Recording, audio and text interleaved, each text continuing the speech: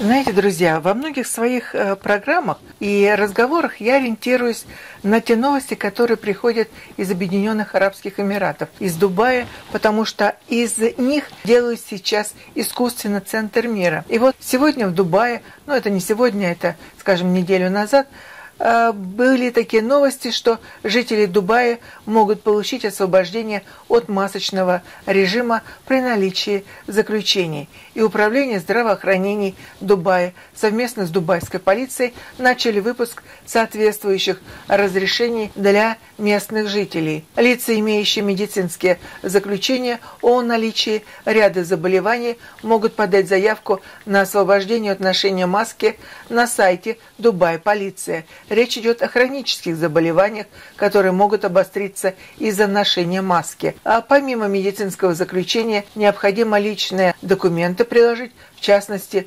удостоверение ID Эмиратов. Медицинский комитет управления будет рассматривать запросы, и процесс рассмотрения будет занимать до пяти дней. Решение об освобождении человека от ношения маски будет приниматься исходя из оценки его состояния здоровья. Категории людей, которые имеют возможность освобождения от масочного режима, это страдающие грибковым дерматитом люди, особенно при кровотечениях, зуде и шелушениях на лице, страдающие также аллергическим дерматитом, контактным дерматитом, а контактной крапивницей, которые обостряются из-за ношения масок, опять-таки, на лице, страдающие тяжелой инфекцией, простого герпеса, поражающий рот, нос и лицо, страдающие острым, неконтролируемым хроническим синуситом, и еще пациенты с неконтролируемой астмой, люди с особыми потребностями, психическими и психологическими расстройствами –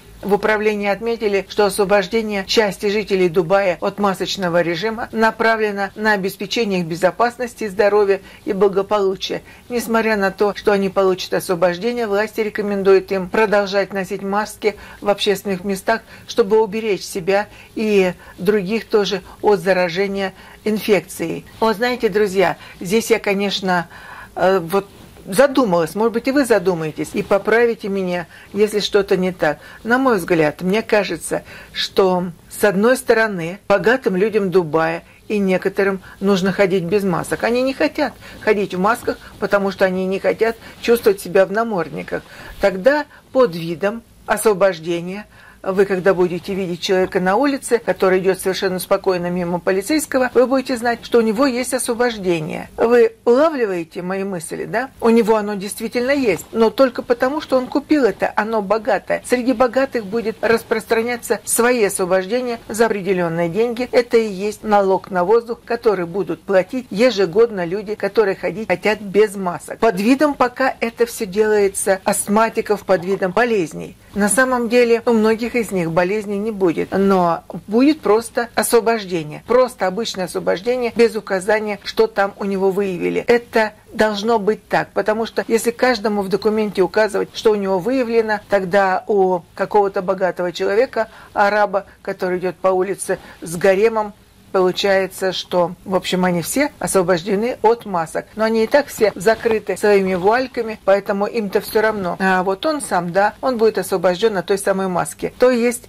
Сейчас начинается торговля воздухом. Вот в пределах того, что якобы если ты болеешь, тебе разрешено быть без маски. Но это еще не все, друзья. Я здесь задумалась. Знаете, вот пойдете вы в поликлинику. В Европе это тоже сейчас есть. И Европа тоже этим занимается. То есть могут раздавать такие э, документы, где тебя освобождают от маски. Хорошо вы пойдете. Вы встанете на учет как особо больной. А в свете новых моральных законов, что больным людям не место в обществе и что их не нужно особенно лечить, то, друзья, вы сами на себя накликаете беду. С одной стороны, вам дадут короткое разрешение ходить без масок. И то это не факт, что дадут вам разрешение ходить без масок. А, то есть, что вам дадут официально, освободят вас. Просто скажут, что у вас недостаточно, вы больны, чтобы вас освободить от ношения маски. А с другой стороны, вот таких вдруг больных, ну это мне в голову так пришло, что это вполне может так быть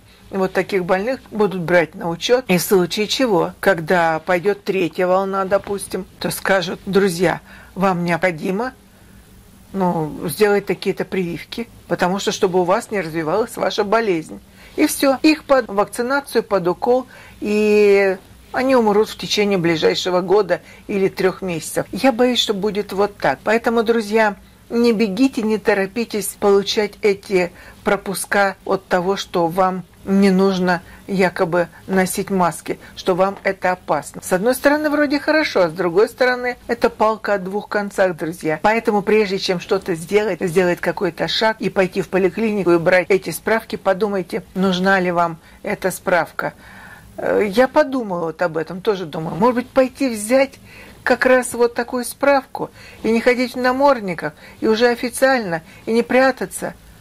А с другой стороны думаешь, пойдешь, а возраст-то уже не молодой – и что сделают? Да тебя просто поставят на учет, чтобы при случае от тебя освободиться и выкинуть из нашей жизни. Хочется еще жить, друзья. Я думаю, вам тоже так же. Поэтому думайте, когда видите такие сообщения. Но вообще началась торговля воздухом. Воздухом торговля за счет справок. Вы мне справку, я вам воздух. Вы мне воздух, я вам справку. В общем, такая ситуация у нас с вами с э, намордниками, я хотела сказать, с масками на лице, которые существуют. Это, друзья, тяжело. Я не знаю, как кто ходит в масках, друзья. Это на самом деле реально тяжело. Я здесь выехала в магазин. Но я живу, друзья, совершенно изолированно от людей. Я одна в своей берлоге и редко выхожу куда-то. Нет, гулять-то я хожу, конечно, но редко куда-то выезжаю.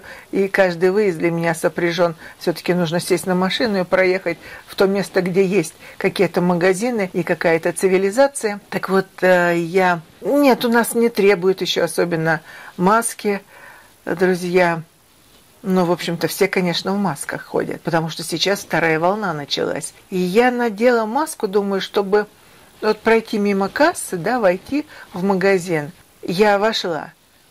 Потом надела маску на подбородок и так хожу. Все меня видят, продавцы, работники. Никто не делает замечания, потому что, ну, это глупо. Они сами так ходят. И все, я посмотрела, люди тоже так ходят. То есть это как бы такое, знаете, масочное подчинение закону, которое, в общем-то, наполовину оно нереальное, ненормальное. А когда я выходила, я снова надела маску. И, в принципе, друзья, вот это короткий минуту и там две минуты обратно. Это все, что я я прибежала в машину, но я уже по дороге сняла эту маску, как только вышла за э, дверь магазина. Магазинчики у нас маленькие, друзья. Это не огромные шопинги, нет, это маленькие магазинчики. Я села в машину, и я не могла отдышаться. Знаете почему? Я поняла. Не потому, что даже воздуха не хватало.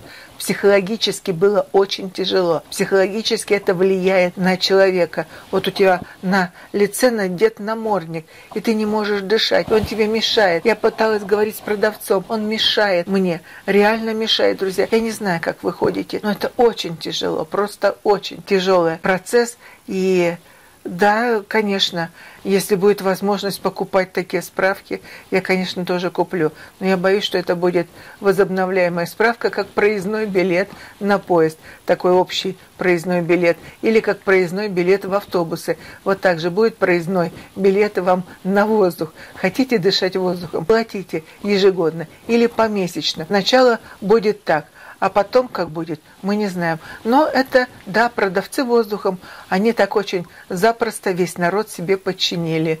Продавцы воздуха. А мы-то думали, что это фантастика. И в молодости я никак не могла понять, да как же можно воздухом торговать. А так вот и можно, что сейчас маски одни – а дальше они будут, как скафандры. На тебя наденут скафандр и заставят дышать в пластике через дырочку. То есть это точно легкие у всех будут поражены. Да, уничтожение, самоуничтожение цивилизации. Я Таня Карацуба, Сиит Бурхан.